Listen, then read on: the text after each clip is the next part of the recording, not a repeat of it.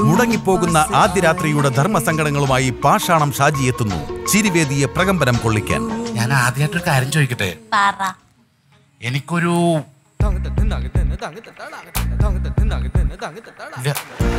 ഒന്നുമില്ല. സ്വന്തം വിവാഹം മുടക്കാൻ ശ്രമിച്ച് പുലിവാൽ പിടിക്കുന്നവന്റെ ഗതികേടുകളുമായി ടീം പോപ്പിയുടെ ചിരിമേളവും. വളരെ സന്തോഷം. എന്താ നമ്മളെ വേണ്ടായിരുന്നു ചേട്ടാ. ചേച്ചി പൊക്കോ? ഞാൻ പോകുന്നില്ല.